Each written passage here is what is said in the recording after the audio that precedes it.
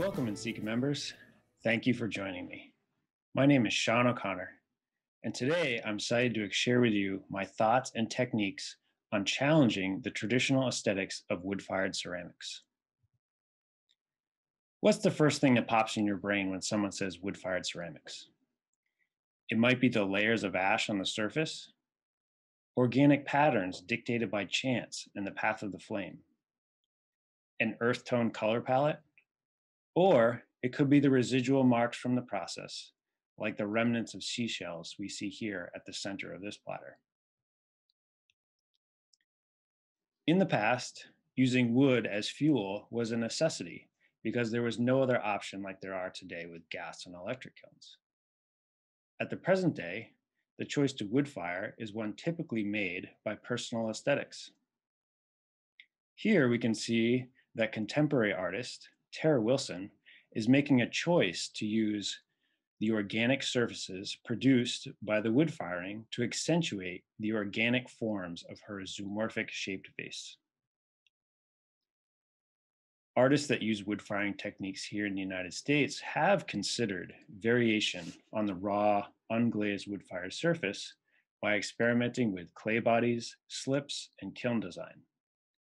I have observed, though, that the general aesthetic, one of organic flame patterns, complex layers of ash, and marks of the process has not evolved much over the last few centuries. Illustrated here by these two examples, one historic and one contemporary, we can see many similarities regarding the surface. Both forms were fired on their sides, resting on shells, and utilizing the dripping of melting ash to create a sense of movement across the work. In this lecture, I plan to unpack that rich history of wood firing a bit more and ultimately suggest ways in which we, which we can push the boundaries of this historical aesthetic further. In particular, new ways in which we can approach finishing the surface of unglazed wood-fired works. I'll start by summarizing a few qualities that are shared in this type of work.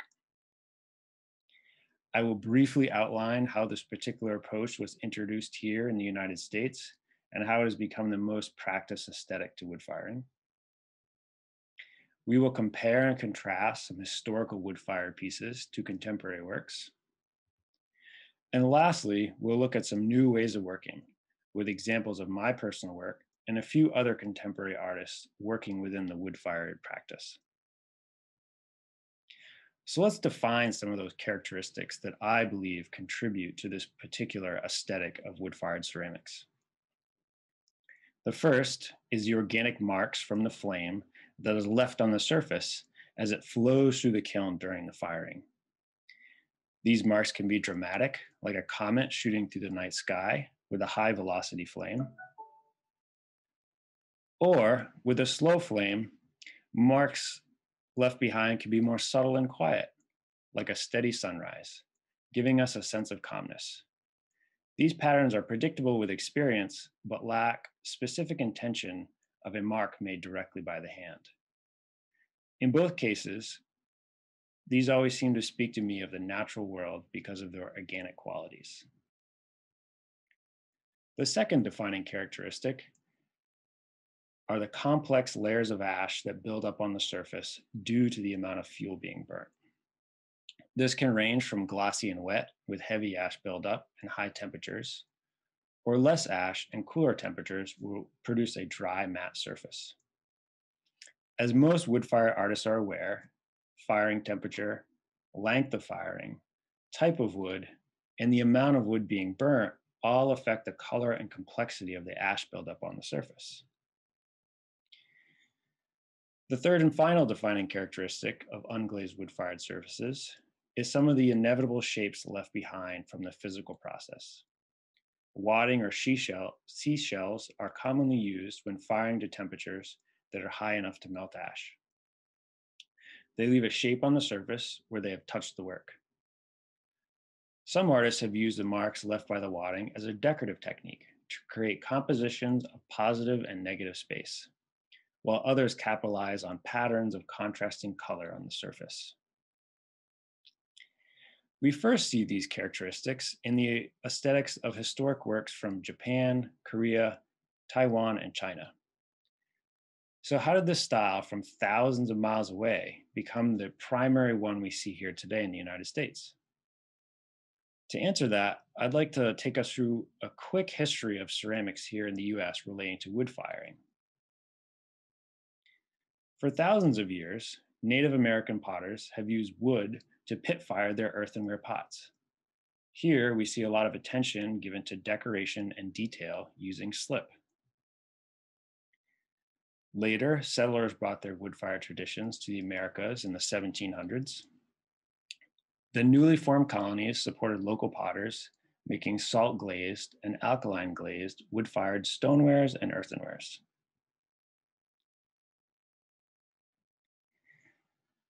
Through the 1800s, local potters were slowly replaced with the industrialization of pottery production.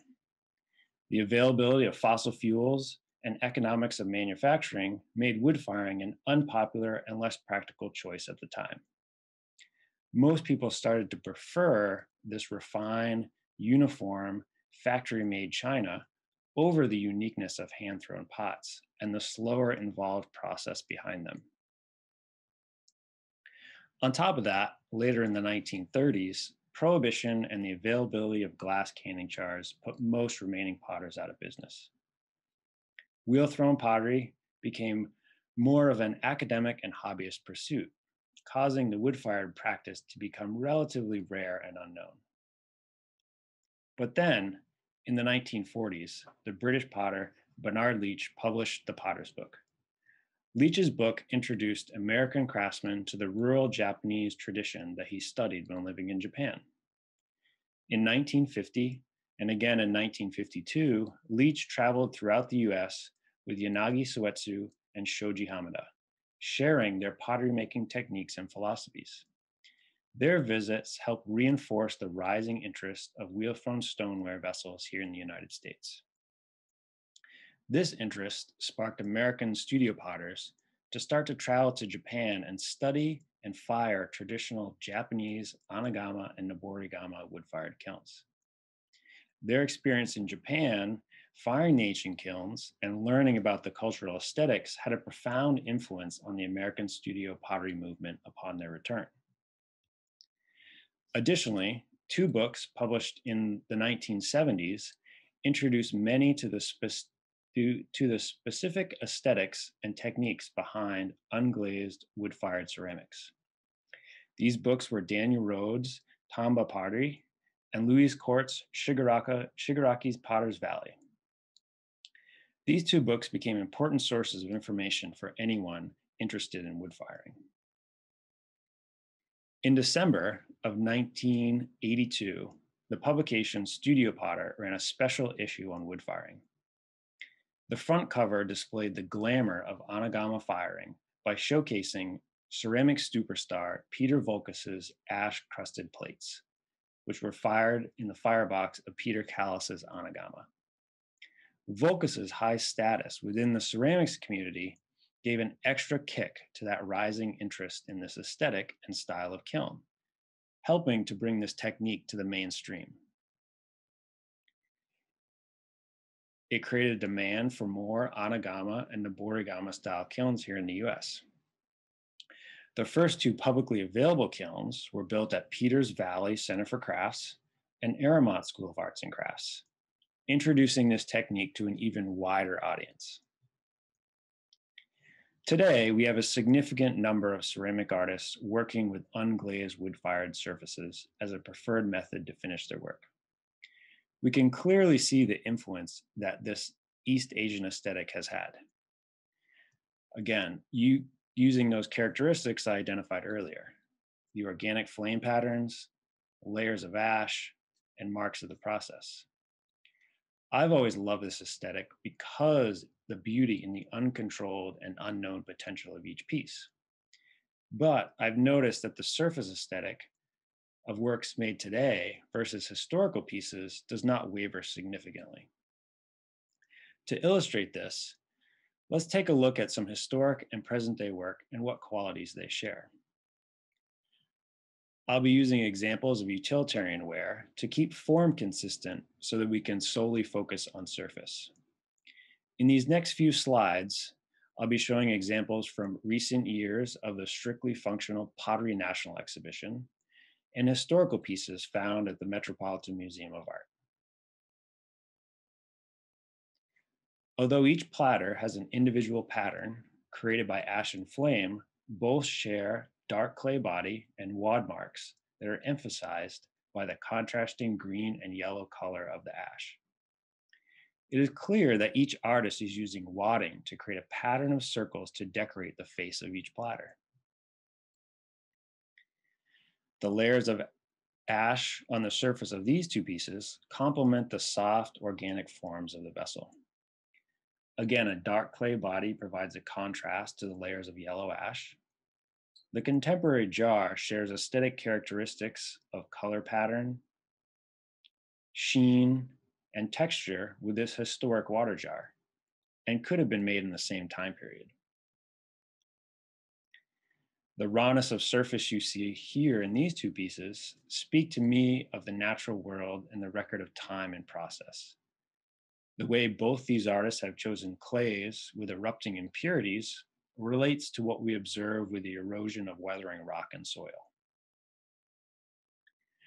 Revisiting this comparison, you can see Jack Troy is using organic flame patterns, complex layers of ash, and marks of the process to decorate the exterior of his jar, utilizing a similar approach to the 6th century bottle from Japan.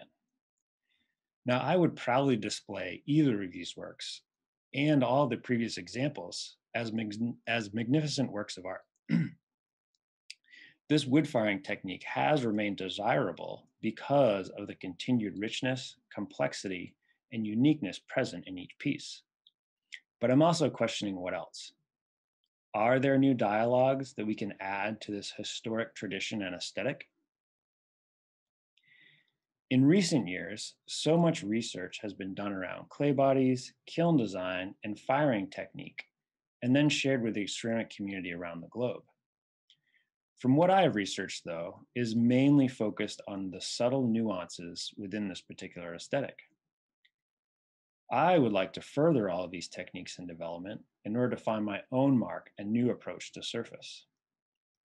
Because I believe there are ways of approaching wood firing with a fresh perspective. By reconsidering our approach to process, we can develop tools that expand this aesthetic beyond what it was thousands of years ago. Marks can be reimagined. Here, Simon Levin is using wadding with a high iron content to produce dark marks on the surface. The black circles provide a new interpretation on depth in this case, these wadding shapes feel more like holes instead of flat dots that are typically left by lighter colored wadding. Color palette is another factor that can be expanded upon. We can challenge the stereotypical brown wood-fired surface. Here, Perry Haas is employing an almost pastel color palette by using porcelains that react to the wood in his geographical area and controlling the atmosphere during the firing process. One approach that I've been taking is creating pattern with flame that are controlled and intentional. They have geometric shapes and rely less on the organic and serendipitous marks left by the process of wood firing. I call these flame deflectors, essentially walls of clay with holes, lines, and patterns cut into them allowing the flame to move through and touch only selected areas of the work. This technique is all about manipulating flame during the firing process in order to create marks or a repeating pattern on the surface that is more controlled. This is a cup with a deflector loaded inside the kiln. To maximize success, I found the deflector had to be placed as close as possible to the corresponding piece and in an area of the kiln with exposure to a high velocity flame. Close to the firebox and on front of a shelf seemed to be the right spot. This technique needs a fast moving flame to push through the openings in the deflector in order to mark the surface with crisper edges. This experiment was more successful than I anticipated. The image was recognizable to what I had created within the deflector, and I was impressed that I could transfer an intentional mark to the surface. They are more geometric in nature and start to depart from the traditional organic marks and flame patterns we typically see. I have not been able to produce any imagery with completely crisp detail or complex shapes, leaving specific geometric shapes to work with, lines, squares, circles, and so forth. But this has the potential for a visual vocabulary of intentional marks and has the ability to add new context and meaning to the surface of the work. Because the deflectors needed to shrink with their corresponding pieces for successful transfer of imagery, each deflector could only be used once. To reduce waste of this one-time use object, I explore the possibility of them as objects on their own. For example, this deflector takes on the form of a basket or colander, mimicking the shape of the bowl inside. And here are the two pieces after the firing. What I am left with is two pieces that exist because of the other. They speak to each other through their shared pattern and journey through the firing process together. The deflector's ability to create intentional marks on the surface led me to start experimenting with small localized saggers to create contained atmospheres on selected areas of the work. Saggers enclose environments that have been used for thousands of years to protect an entire piece from the open flame, smoke, gas, and kiln debris. This protection has allowed for delicate porcelains and glazeware to be produced without the effects of the kiln atmosphere on the surface. Saggers essentially became unnecessary with the advent of cleaner burning gas and electric kilns.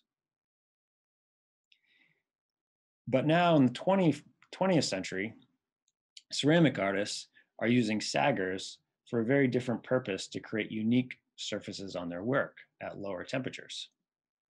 By adding combustible materials with the work inside the sagger, a new atmosphere is achieved producing variations of color and spontaneous pattern. I admire the dynamic landscape and warm color value that this piece has, and really reminds me of wood firing. Instead of placing an entire piece inside the sagger, I wondered what might happen if I only targeted selected areas of the work. For this piece, I created a small sagger which produced a reduction atmosphere on a specific area of the work. What I am left with is a cup that has an unpredictable record of the firing process on one side and the controlled mark of the sagger on the other. Here are two of those cups loaded in the kiln on top of small saggers. The location of the kiln for this technique is much less critical than location of the flame deflector, and I've been able to have success in many areas of the kiln with this technique by adding different combustibles like sawdust, charcoal, and colorants in the form of oxides, I've also been able to produce a, very, a variety of colors. In this example, you can see the color purple has been created with the use of cobalt carbonate and an outlining of black, black carbon is produced as a sawdust combusts in the sagger. With this technique, I am creating a surface with the qualities that reference traditional wood-fired surfaces, but in a non-traditional and controlled form. For me, the intention behind these marks is moving my work beyond the typical look of the wood-fired process. I've been evolving this technique further by thinking about the shapes of the saggers. Again, trying to make shapes on the surface that move away from the organic patterns typically found. Here, the triangles are used as an attempt to contradict the soft curves and circular form of these two mugs. This is my first attempt at using saggers in the shape of letters. I have plans for the entire alphabet one day. But I've also been thinking about other types of language with simplified shapes that could be used to add content to the surface of the work by using either of these techniques of the flame deflector or localized sagger. I'm not really sure I want to take this direction permanently, but it is a path worth exploring. Now let's go back to some of my previous examples of two other artists who are also pushing boundaries in this field. Simon Levin has experimented with wadding shape and placement in non-traditional ways to create decorative pattern on the surface of his work for some time now. The shape and placement of this wadding shows intention and thoughtful decisions by the maker. As we can see, Simon's piece is adding a bold visual pattern that is significantly different than the, than the traditional nuanced surface of Voulkos's work. Perry Haas has been developing clays that complement the wood he has access to locally in Montana. Cottonwood, aspen, and mountain ash are all high in, high in potassium and produce larger amounts of ash. Perry developed his clay to allow the high potassium ash to develop texture and unique color on the surface of his work. He is deliberately trying to move away from the stereotypical look we associate with wood firing. Recently, Perry has been doing a lot of post firing work, which I find particularly exciting. He's using resin to mimic and reference ash flow and exaggerate the colors that you can get out of a wood kiln. Perry's post firing technique gives the work an additional expression of a painterly approach. This jar does not inherently scream wood fire, but it speaks with the same visual dialogue, challenging what we typically think of as the wood fire aesthetic. Perry's approach is advancing that conversation with the addition of non-ceramic material on a relatively traditional shaped vessel. We cannot, we cannot simply ignore the vast history of the wood firing process. This extraordinary tradition is something that will always inform and inspire how we make work. But ultimately, I believe there is room within this practice to expand the visual vocabulary of surface and push the notion of what we perceive wood firing work to be. Adding intentional marks of content and contemporary resources will diversify the conversation we have with this particular aesthetic. As an artist, I feel it's important to consider diversity in artistic practice and to examine the intention of my own work. This exploration not only helps me push my personal work further, but serves as a model for my students to question, take risks, and challenge their own assumptions. My hope is that by sharing this presentation, others will be inspired to bring contemporary ideas and 21st century resources to the traditional surfaces and processes. Thank you for listening, and I look forward to continuing this conversation with the community.